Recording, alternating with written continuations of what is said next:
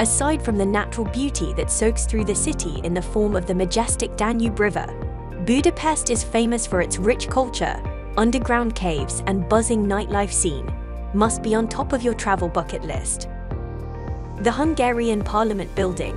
The extraordinary House of Parliament seated on the banks of the Danube is one of the tallest buildings in Budapest as well as the third largest National Assembly building in the world. The Parliament combines three architectural styles Neo-Gothic, Baroque, and Renaissance. Széchenyi Chain Bridge, the most famous and one of the main tourist attractions in Budapest. The 1849 suspension structure connects the west and east side of the city, Buda, and Pest.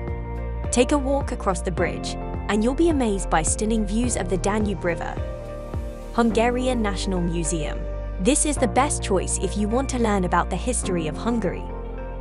The neoclassical building with numerous pieces related to art, archaeology, war, and crafts are fine paradigms of Budapest's cultural heritage.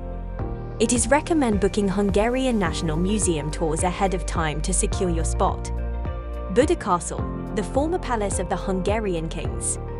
Originally built in 1265, at the top of Castle Hill offers a remarkable panoramic view over Pest and the river.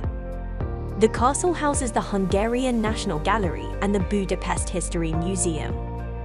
The Fisherman's Bastion, one of the best ways to enjoy the sheer beauty of Budapest is to climb the Fisherman's Bastion. The views of Pest, Margaret Island, and the Danube River will take your breath away. Széchenyi Baths.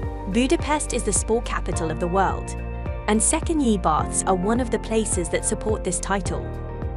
Welcoming visitors for over a century. Also, this is one of the largest thermal bath complexes across Central Europe. Budapest has made it to the list be one of the most beautiful cities in the world, which promises to steal your heart away each time you visit it.